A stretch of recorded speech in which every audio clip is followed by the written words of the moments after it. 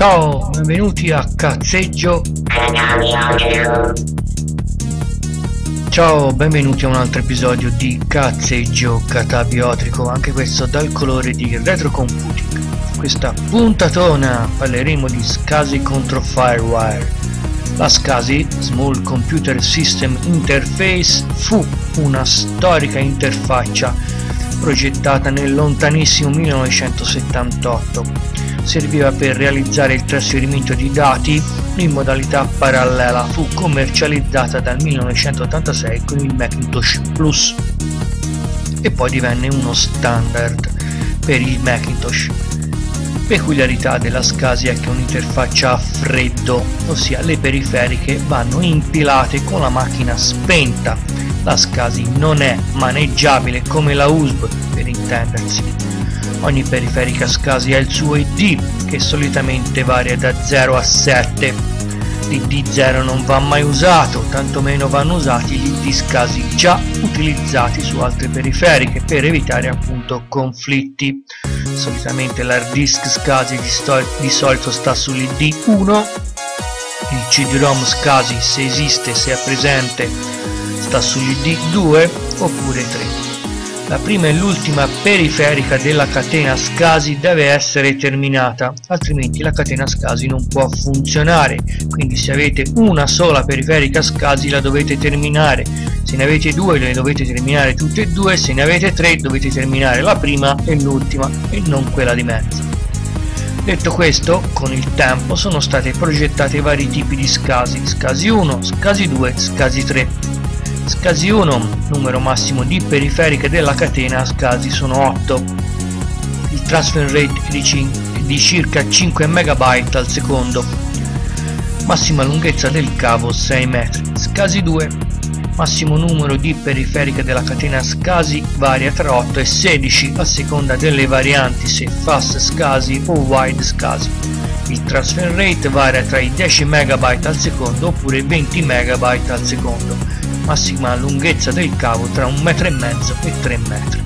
SCSI 3 nella variante Ultra SCSI o Fast SCSI il massimo numero di periferiche della catena SCSI sono 16 il transfer rate varia tra i 20 MB al secondo e i 40 MB al secondo, massima lunghezza del cavo 3 metri.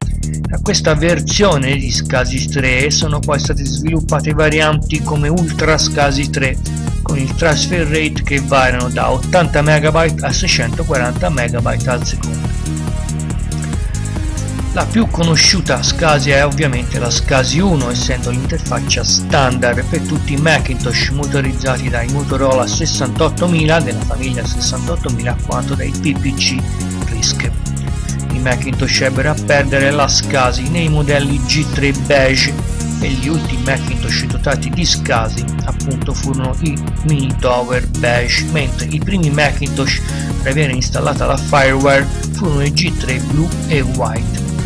Avete fatto io vi invito a visionare il podcast su quale G3 Tower collezionare per retrocomputing di cui, in cui appunto discuto di questa storica frattura tecnologica. La Fireware, il nome fu inventato da Sony, è uno standard noto anche appunto con il nome IEEE 1394. È un'interfaccia standard a caldo con un bus seriale di proprietà della Apple. Supporta due diverse modalità di trasferimento dati, sincrona e asincrona. Dunque, l'interfaccia Fire è tecnicamente superiore all'interfaccia USB, ma quest'ultima, la USB, è molto più diffusa per via del fatto che i produttori hardware dovevano pagare il brevetto della firewall ad Apple e quindi per risparmiare preferivano utilizzare le varianti USB oppure il cave, il, lo spinotto HDMI quindi USB e le, nelle sue varianti l'HDMI hanno finito per mettere in penombra tecnologica la firewall che appunto risulta essere molto meno diffusa e molto meno nota della vecchia e storica SCSI.